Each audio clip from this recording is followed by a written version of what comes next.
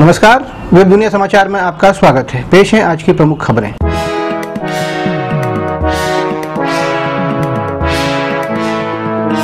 किसानों तक पर्याप्त पानी पहुँचा तो मिट्टी उगलेगी सोना। प्रधानमंत्री नरेंद्र मोदी ने कहा, पंजाब के गाँव हुसैनीवाला में शहीद भगत सिंह और अन्य शहीदों को श्रद्धांजलि देते हुए प्रधानमंत्री नरेंद्र मोदी ने कहा कि ज़्यादा उपज के लालच में धरती अपनी ताकत खो रही है। रासायनिक खाद और कीटनाशकों के ज़्यादा इस्तेमाल से ज़मीन को नुकसान पहुँच रहा है। उन्होंने कहा कि किसानों तक पर्याप्त पानी पहुंचेगा तो ज़मीन सोना उगलेगी। भगत सिंह जैसी वासंती पगड़ी पहने मोदी ने कहा कि भगत सिंह का नाम ही लोगों को देश के लिए मरने मिटने की प्रेरणा देता है।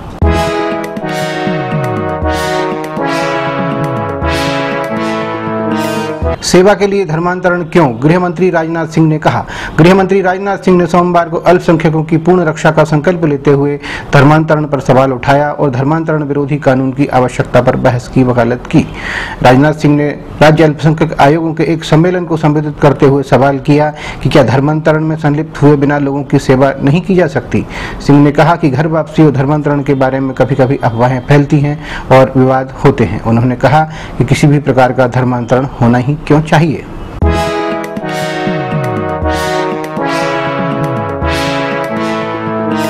राष्ट्रीय परिषद से बाहर हो सकते हैं योगेंद्र यादव और प्रशांत भूषण।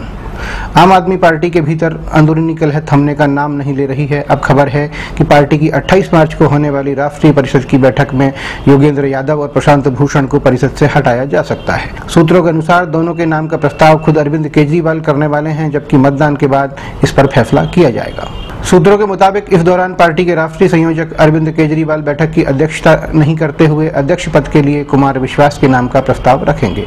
इससे पहले केजरीवाल को राष्ट्रीय संयोजक पद से हटाने के लिए साजिश रचने के आरोपों के बीच यादव और भूषण को 4 मार्च को पार्टी की पीएसी से निकाल दिया गया था।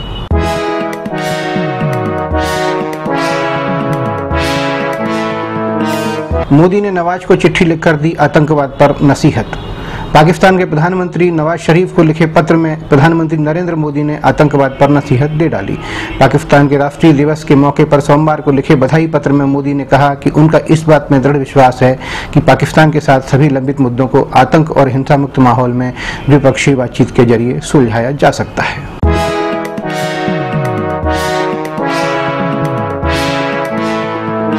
फ़ीस नहीं देने पर प्राचार्य ने किया मासूम से दुष्कर्म। गुजरात के नवसारी ज़िले में दूसरी कक्षा की छात्रा का कथित तौर पर यौन उत्पीड़न करने के आरोप में 45 वर्षीय प्रधानाचार्य को गिरफ़्तार किया है। छात्रा के साथ यौन उत्पीड़न इसलिए किया गया क्योंकि वह तीन हज़ार फ़ीस नहीं भर पाई थी।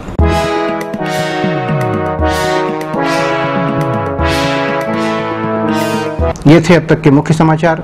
और ज़्यादा जानकारी के लिए लॉगिन कीजिए हमारी वेबसाइट www.webdunia.com नमस्कार।